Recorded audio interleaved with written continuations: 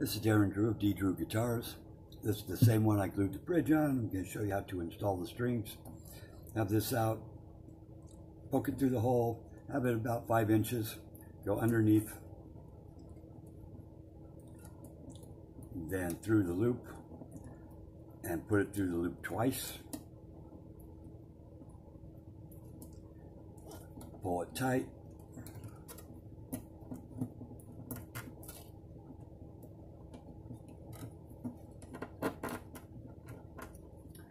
tail's going to stick out and want to come this way.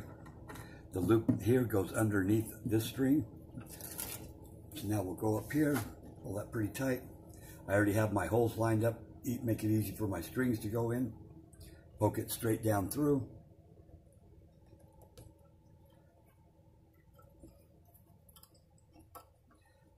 Pull it tight. Put your finger on the nut have your other two fingers underneath here like this, and then just pull up on it. And then that's about where you want to leave it. So then poke this back up through the big hole. And it'll be on this side of the post. And then poke it back through the hole that holds the string in the tuning key. Poke it back down through again.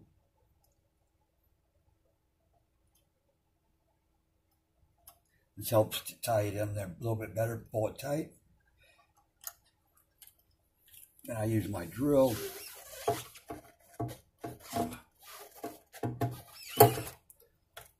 And it wraps around this direction over the top. And I'll even go as far as to wrap the string I'm tightening up over the top of the loose end just to help hold it a little bit tighter even.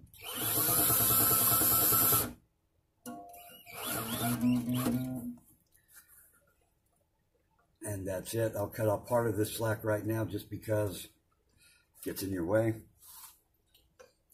And the more wraps you have on a nylon string, the kind of not the best it is. You want a couple, two and a half, three wraps. And otherwise it's more string to stretch in. Nylon string stretch in a lot.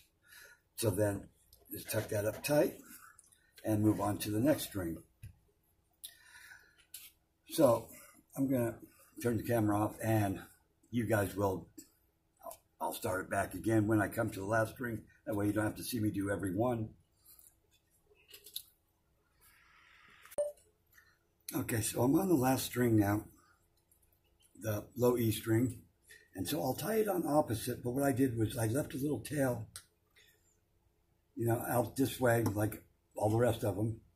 And I put a little Allen wrench in here so it will leave me a gap right here. So I'll poke this through.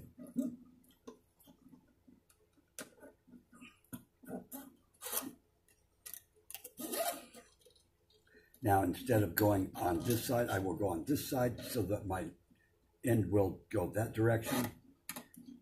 Poke it through the hole twice. Hold it tight.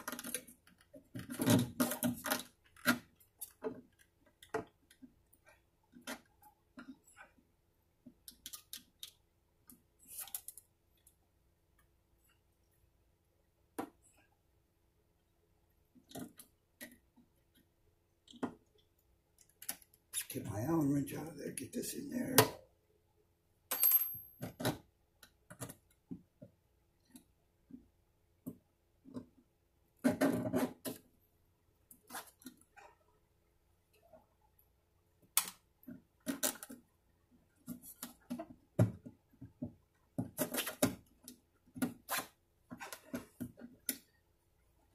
I'll cut these off afterwards.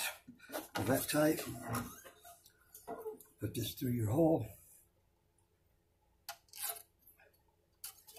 And this one's not going to have room to go into the hole again. So it's okay. So pull your string tight, put your fingers underneath, pull it back at least to a fret and a half on this one. And so I'll poke it back up through now kind of, t- and bring it on this side of the post.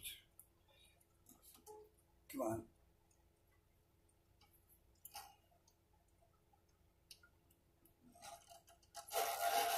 And so I'll just loop it through like the beginning of a bow tie.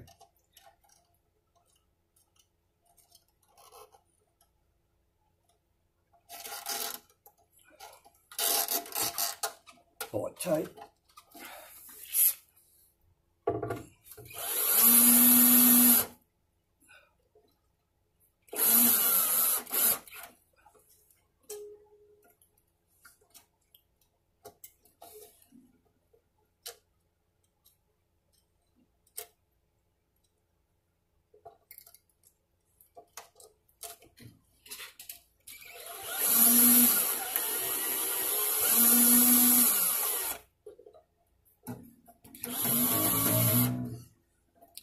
Also before, when I was cleaning this all up, I polished here, polished the headstock, tightened up all the screws, loose, and um, put a drop of like three-in-one oil on all the gears, worked them in with the drill to where they can, you know, turn smoothly now.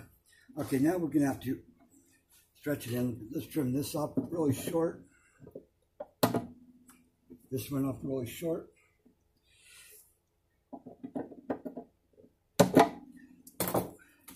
And then you can see how nice and clean that looks. That's what we want. See, your hands don't hit it, but it just looks nice and clean. It is. It's they're all holding each other. So now let's just stretch these just a touch. And then it's going to take a while to tune this thing because they stretch in so much. I always use a tuner. Tuners are always right.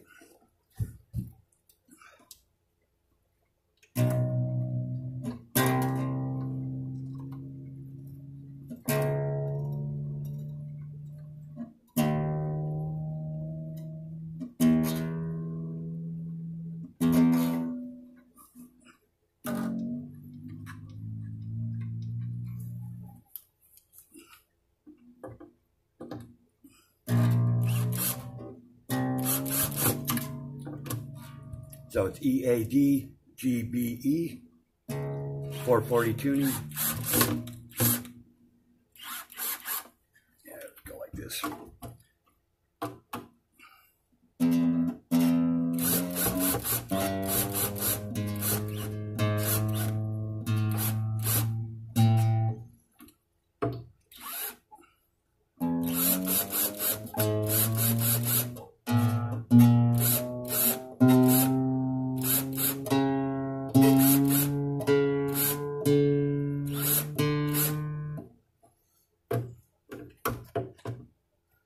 With the bigger string to tune because it will pull up the relief in the neck and it's a stronger string than the smallest one, the high E.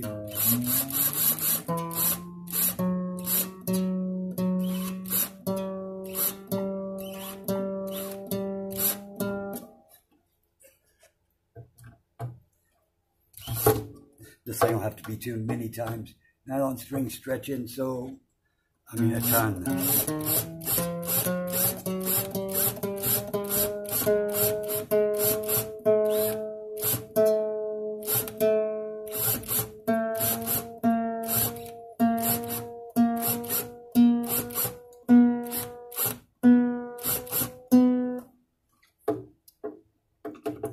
Worried about getting them absolutely perfect at the moment.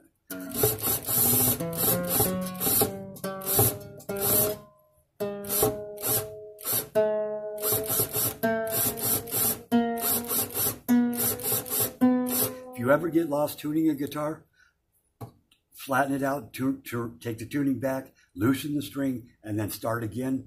If you ever lose track of where you are, you're not finding it on your tuner, just loosen it and start again. It's the best approach. Otherwise, you'll just break strings.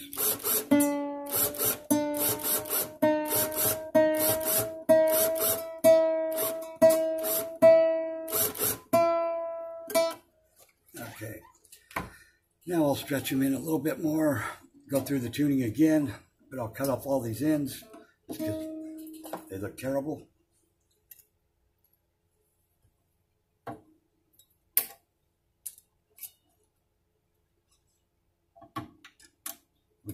trim them off later also some more. I just like to get them out of my way.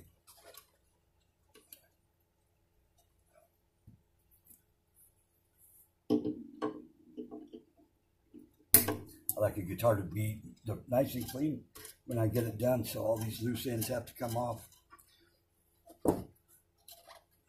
Besides, if you're on stage and they're poking out, you could poke a player standing next to you in the eye or something, and that's no good. So you want those always trimmed off nice and tidy.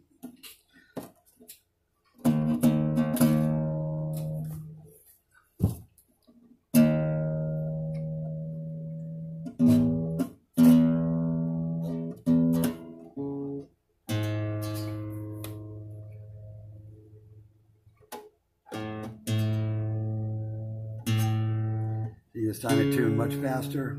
I don't have that many wraps around here, about two to three. That way you have less string to stretch in.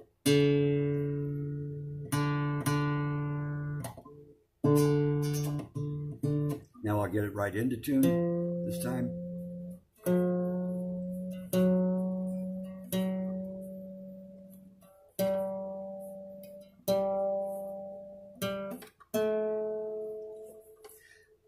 It'll still take days for the strings to fully stretch in on this thing though. They always do.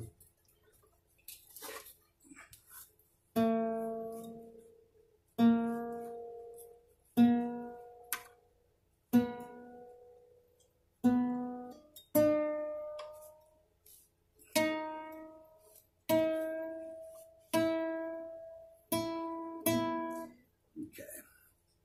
Okay, this guitar does not have a truss rod, so we don't have to worry about adjusting the relief in the neck. So hopefully it's going to be good. looks really nice and flat, actually. I just sight down. You can put a capo here on the first fret. Touch it down here at the body on the uh, seventh fret. Should have eight thousandths clearance. Uh, this doesn't have eight thousandths, but it's got some, probably about three, three thousandths. Okay, so that's good. Want to check our nut height at the first fret. Nylon string are a little bit more than um, normal acoustic string.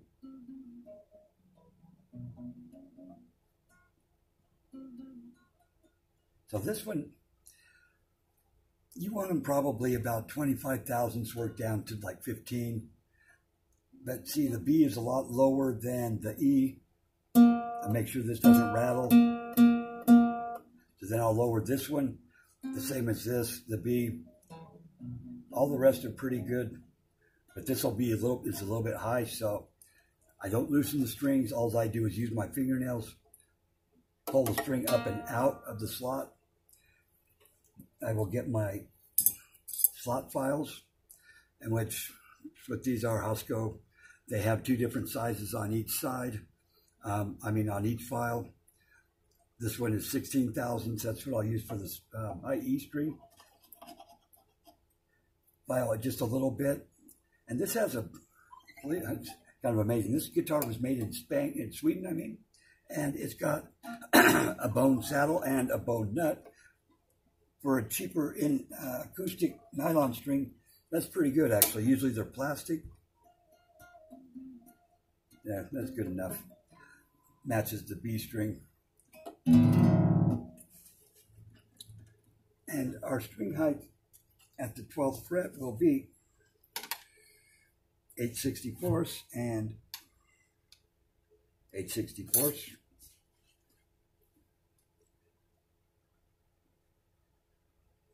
This should be a little bit lower. I don't play nylon string very well at all. This is the one I also did the frets on. These frets were terrible. I'm